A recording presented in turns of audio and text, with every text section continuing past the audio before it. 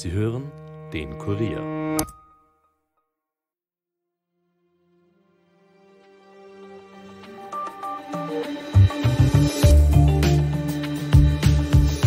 Fünfzehn der 16 wärmsten Jahre der vergangenen 250 Jahre sind nach dem Jahr 2000 eingetreten. Trockenperioden und Hitzetage über 30 Grad Celsius nehmen zu und es gibt immer extremere Katastrophen. So beschreibt nicht etwa die letzte Generation, sondern die niederösterreichische Landwirtschaftskammer die aktuellen Klimaprobleme. Die Klimakrise ist also längst da. Was die Landwirte längst wissen, hat am Montag einmal mehr der Weltklimarat IPCC bestätigt, in seinem mittlerweile sechsten Sachstandsbericht. Demnach finden weit verbreitete und schnelle Veränderungen in der Atmosphäre, im Ozean, in der Kryosphäre und der Biosphäre statt. Was das bedeutet und wie es jetzt weitergeht, dazu gleich mehr im Daily Podcast des Kurier, heute mit mir, Michael Hammerl. Der Weltklimarat bedeutet, der Weltklimaratbericht bedeutet nichts Gutes. Ist die Klimakrise überhaupt noch aufzuhalten oder sollten wir uns darauf vorbereiten, dass wir uns an höhere Temperaturen gewöhnen müssen? Unter anderem darüber spreche ich jetzt mit meinem Innenpolitikkollegen Bernhard Gaul. Hallo Bernhard. Hallo. Lieber Bernhard, ähm, vielleicht, ich meine, du hast dich im Detail mit dem Bericht auseinandergesetzt. Vielleicht möchtest du noch einmal zusammenfassen, was da heute überhaupt vorgestellt worden ist. Eigentlich nichts Neues. Also es ist der sogenannte Synthesebericht zum sechsten IPCC-Sachstandsbericht. Der, der, das ist quasi der vierte Teil. Der erste Teil kam schon 21 raus, die zweite, der zweite und dritte Teil im Jahr 2022. Und jetzt nochmal im März eben eine Zusammenfassung über das, was da war. Der beim IPCC geht es ja darum, dass er, dass er die wissenschaftliche Grundlage für Entscheidungsträger, sprich für die Politik, bereitstellt, damit die endlich reagieren können. Äh, was auffällt bei dem Bericht ist, äh, es steht nichts Neues drin, das muss man ja ehrlicherweise sagen. Aber was meinst du, es steht überhaupt nichts Neues drin? Also das haben wir alle schon gewusst, dann können wir ja gleich aufhören. Also wenn ich sage, es steht nichts Neues drin, fällt auf, wie gesagt, es ist der sechste Sachstandsbericht. Der erste ist 1990 erschienen äh, und schon damals haben die Forscher eigentlich sehr genau vorhergesagt in Wirklichkeit, wie sich das Klima ändern wird, auch in den nächsten 30 Jahren, in den nächsten 32 Jahren bis heute. Ähm, was eher auffällt, ist, dass die Forscher vorsichtig waren, also eher konservativ sozusagen das eingeschätzt haben und die Auswirkungen, die tatsächlich eingetreten sind, sind eigentlich schlimmer als das, was angenommen wurde. Äh, wie gesagt, und in, äh, jetzt ist der sechste Sachstandsbericht da, der das äh, einfach noch viel detaillierter und die Wissenschaftler sagen auch mit mehr Sicherheit sagen können, sozusagen, wie sich das weiterentwickeln wird. Das heißt aber, es haben sich ähm, die Voraussetzungen tatsächlich geändert oder hat sich die Wissenschaft selbst radikalisiert und ist jetzt politischer geworden? Nein, das, das will ich jetzt nicht sagen. Also sie zeigen Handlungsoptionen auf, aber geben mit Sicherheit niemand etwas vor, wie er was tun soll. Ja? Das kann man jetzt positiv oder negativ sehen, aber es ist klar, die Wissenschaft hält sich da raus und sagt, ihr Politiker, ihr müsst entscheiden, wie das zu machen ist. Und um was es geht, ist ja wohl auch klar. Es geht darum, dass wir keine fossilen Energieträger mehr anzünden dürfen. Ja? Also kein Erdöl, kein Erdgas, keine Kohle. Und hat die Wissenschaft in dem Fall gar keine ähm, Handlungsalternativen parat? Also empfiehlt sie auch nicht, wie viel Solarenergie, wie viel Windkraft etc. wir ausbauen müssten? Nein, also das, das sagt sie jetzt konkret nicht, sondern das ist ja klar, dass es darum geht, äh, dass wir dieses System äh, in der, innerhalb der Energiewende einfach ersetzen müssen. Ja. Äh, dazu gibt es ja gute Alternativen, wie wir wissen.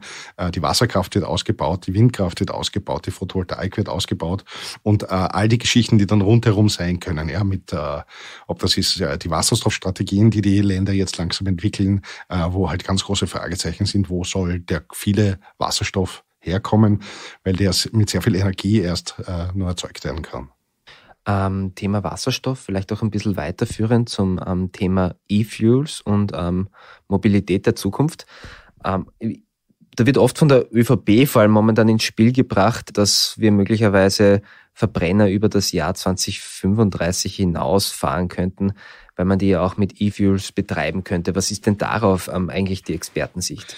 Ja, Vorsicht. Also ähm, bei dem, wo, es, wo, die Entscheidung da ansteht in Brüssel ähm, für, die, für die EU 27, da geht es nicht darum, dass man ab 2035 auf keinen Fall mehr mit einem Verbrenner fahren kann, sondern es sollen keine neuen Verbrenner zugelassen okay. werden. Es ist immer klar gewesen, dass sozusagen diese Autos, die davor noch zugelassen werden, äh, auch weiter fahren dürfen. Ja, so. Zum Thema E-Fuels, das ist ein bisschen komplizierter. E-Fuels sind äh, letztlich synthetische, sehr saubere Kraftstoffe, die nachhaltig sein können, ja, wenn das CO2, äh, also der Kohlenstoff, der im Treibstoff ist, aus, dem, aus der Luft, aus dem CO2 irgendwie rausgeholt wird. Das geht, ja, also in Wirklichkeit ist die Rechnung einfach Wasserstoff und CO2 kann man umbauen zu einem tankbaren Kraftstoff der, die, das Problem dabei, du brauchst wahnsinnig viel Energie, damit das funktioniert. Ja? Äh, und da ist, da ist die einfache Rechnung, ich habe ein Windrad, das produziert dann Strom und das geht in ein Elektroauto, das ist unglaublich effizient. Oder ich habe ein Windrad, ja, das muss mal in eine Elektrolyse, da wird Wasserstoff hergestellt, dann wird mit sehr viel Energie äh, das CO2 aus der Luft gefiltert, äh, dann wird das zusammengebaut und daraus chemisch sozusagen in chemischen Prozessen ein tankbarer Treibstoff gemacht da geht die Rechnung natürlich nur schwer auf. Ja. Tatsache ist aber bei den E-Fuels, nur um das auch irgendwie zu erwähnen, äh, auch die Grünen sind nicht gegen E-Fuels. Die sagen, E-Fuels werden wir brauchen für die Bereiche, wo wir das Öl einfach ganz schwer ersetzen können. Das ist vor allem die Flugzeugindustrie und die Schiffindustrie. Nur im Vergleich zu den Autos, die wir weltweit haben oder auch in Europa haben, ist das, was die Schiffe und die Flugzeuge brauchen würden an E-Fuels, relativ gering. Also das könnte man wohl noch herstellen. Für alle Autos wird sich das wohl nicht ausgehen. Habe ich dich vorher richtig verstanden? Würde das dann aber trotzdem heißen, ähm, wenn ich zum Beispiel im Jahr 2025 einen Verbrenner kaufe und der hat eine gute Haltedauer, dann könnte ich den auch über 2035 hinaus mit Benzin oder Diesel fahren. So ist es, mit kleinen Einschränkungen dabei. Also du darfst nicht vergessen, dass ähm, das erste Problem ist, wir haben mittlerweile eine CO2-Steuer, die, die, die hat begonnen, die ist noch sehr gering. Ja, wir, sind, wir reden von, glaube ich, 32,5 äh, Euro pro Tonne CO2, die das verursacht. Ähm, die CO2-Steuer, das ist aber auch klar, steigt jedes Jahr. Ja. Jetzt kann ich aus heutiger Sicht nicht sagen, wie hoch die 2035 sein wird. Aber weniger wird es nicht werden. Ja? Also das Problem ist, dass der Treibstoff eben mit Sicherheit teurer wird, weil das ist ja das Ziel der Politik, ja? diese, diese Form der Energie einfach äh, nicht mehr attraktiv zu machen. Ja? Und wenn sie einfach teuer ist, dann haben wir ein Problem. Um vielleicht noch einmal auf den Bericht sprechen zu kommen. Ähm, jetzt ist die Frage natürlich immer, wie gut performt Europa und vor allem, wie gut performt Österreich momentan eigentlich in klimapolitischen Fragen. Da sind, glaube ich, wenige Print- und Online-Journalisten in diesem Land näher dran als du. Ähm, vielleicht kannst du da eine kleine Einschätzung abgeben, vor allem zu Österreich. Okay, es ist so, dass, ähm, dass der European Green Deal ähm, ist kein schlechtes Instrument. Das ist vor zwei Jahren vorgestellt worden in Brüssel ähm, von der EU-Kommission sozusagen. Wie kriegen wir Europa klimaneutral bis 2050? Das ist ein, ein, ein hehres Ziel. Äh, und der erste große Step wäre bis 2030. Da muss die EU, die gesamte EU insgesamt, die Emissionen um 55 Prozent reduzieren im Vergleich zu 1990. Da sind einige Staaten schon weiter und einige Staaten weniger weit. Wir gehören zu den Staaten, die weniger weit sind. Also wir haben vielleicht drei, vier, fünf Prozent vielleicht bis jetzt geschafft im Vergleich zu 1990. Ähm, ich sage das deswegen mit so einer großen Unsicherheit, weil die letzten drei Jahre waren ja keine, äh, also durch waren Corona ja irgendwie problematisch sozusagen. Da ist, da ist teilweise einfach viel weniger äh, emittiert worden. Und äh, die Frage ist, wie sich das einbetteln wird. Aber wenn wir die 2019er Zahlen nehmen, dann ähm, sind wir eigentlich, müssten wir eigentlich äh, fast, fast 50 Prozent reduzieren in den nächsten sieben Jahren. Jetzt gibt es gewisse Klimaziele, die wir erreichen müssen. Ähm, bis 2030 zum Beispiel 48 Prozent Emissionen einsparen. Ist das überhaupt noch realistisch?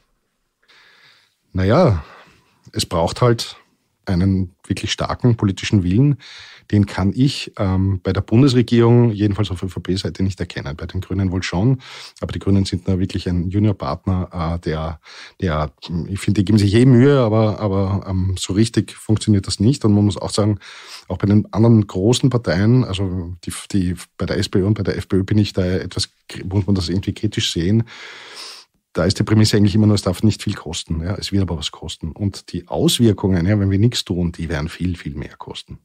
Zum Beispiel? Naja, die Auswirkungen sind ja schon da. Also wenn wir schauen, derzeit haben wir eine Dürre in Europa, in Südeuropa und auch in Österreich. Also wenn man jetzt im Wald spazieren geht, merkt man, wie staubig das ist. Ja? Äh, dazu muss man sagen, wir dürfen natürlich nicht verwechseln den Unterschied Wetter und Klima. Ähm, Wetter ist sozusagen das aktuell, wenn wir aus dem Fenster schauen und Klima ist quasi der, der Rückschau auf 30 Jahre Wetter. Ja? Also ob das sozusagen wirklich schon der Klimawandel ist, ja, wir gehen natürlich davon aus, zu Recht kann man aber sagen, es gab früher auch immer wieder Trockenperioden. Ja? Aber diese Auswirkung ist jedenfalls da ja, und die wird nicht weniger werden. Die Wissenschaft sagt ja ganz klar, Wetter, äh, Extremereignisse werden massiv zunehmen. Ja. Und bei Wetterextremereignissen geht es einerseits um Dürren, ja, aber andererseits plötzlich Hochwasser. Das heißt, äh, für Österreich geht man eher davon aus, dass der Niederschlag insgesamt übers Jahr gesehen gleich bleibt. Ja. Aber, und das kann man jeden Bauern in Österreich fragen und jede Bäuerin, sie merken, dass die die Häufigkeit sozusagen, also es, es ist ewig lang regnet es nicht und dann regnet es wahnsinnig viel auf einmal, so dass das die Böden gar nicht aufnehmen können, die Grundwasserspiegel sich nicht füllen können und so weiter und so weiter. Also, und diese Probleme werden sich wohl verschärfen. Äh, es wird eh schon gegengesteuert. Ja. Es heißt im Bericht, es ähm, wird schnelle Veränderungen in der Atmos oder schnelle Veränderungen in der Atmosphäre, im Ozean und in der ähm, Kryosphäre, also in der Eiswelt, respektive auch in der Biosphäre, ähm, hat es bereits gegeben. Was passiert denn, ähm, wenn es nicht aufgehalten wird und einfach so weitergeht? Da müssen wir unterscheiden, was in den nächsten 50, 100 oder in den nächsten drei bis 500 Jahren passiert. Also ganz, ganz langfristig wird, wenn das so weitergeht, ähm, wird kein Eis mehr überbleiben. Und wenn kein Eis mehr überbleibt, steigt der Meeresspiegel um gute, glaube ich, 67 Meter. Ähm, ziemliches Problem. Ja. Können wir aber sagen, das betrifft ja unsere Ururenkel, das ist uns jetzt wurscht. Ähm, das, Bis wann? Das, das dauert Jahrhunderte. Also speziell das Grönlandeis, bis das abschmilzt, aber das dürfte unwiederbringlich bereits äh, abschmilzen. Das wird passieren. In der Antarktis, da haben wir noch wirklich kilometerdicke Eisschichten. Das dauert Jahrhunderte, bis das abschmilzt, aber derzeit schaut es so aus, als wird das passieren. Abschließende Frage, lieber Bernhard. Kann der menschengemachte Klimawandel überhaupt noch in einem Ausmaß aufgehalten werden, dass wir nicht vor einer Riesenkatastrophe stehen oder ist dieser Zug längst abgefahren und wir müssen uns an die neuen Gegebenheiten anpassen? Anpassen tun wir uns ja schon. Also du hast ganz am Anfang zitiert, die Niederösterreichische Landwirtschaftskammer, die hat diverseste Maßnahmen bereits ergriffen, ähm, wie man sozusagen auch äh, schauen kann, dass die Ernährungssicherheit gewährleistet ist, indem wir zum Beispiel Rückhaltebecken bauen, indem wir äh, uns anschauen, wie viel Donauwasser können wir eigentlich entnehmen zum Bewässern und so weiter. Also das passiert schon. Was wir nicht machen können, ist die Wälder gießen. Ja, das ist ein Riesenproblem. Also äh, es gab bereits letztes Wochenende am Tulbinger Kogel, Kogel in, in Wien den ersten kleinen Waldbrand. Ja, der ist schnell äh, in den Griff bekommen worden, aber so, sowas was wird wohl passieren. Ja. Die Auswirkungen bleiben aber große, also auf die Ernährungssicherheit, auf die Biosphäre. Man muss, man muss das so verstehen, wenn die Blüher zum Beispiel, wenn Blumen plötzlich oder, oder Bäume viel früher blühen, als die Insekten überhaupt geschlüpft sind, ja, dann können die nicht bestäubt werden. Also solche Kettenreaktionen passieren dann andauernd. Ja.